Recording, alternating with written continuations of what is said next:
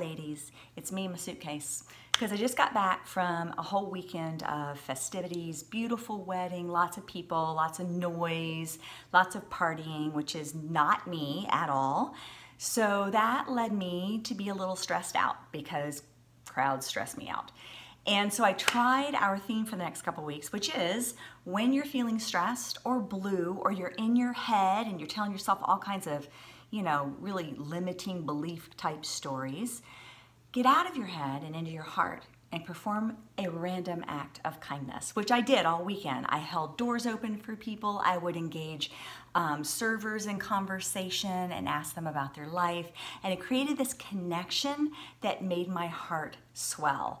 And in the airport on the way back, a gentleman held a door open for me and created a random act of kindness, and it had the same effect. I, I just felt so much better and so much more buoyant and joyful. So I'm challenging you guys, random acts of kindness this week. Try it out, see how you feel, write it up on the big board.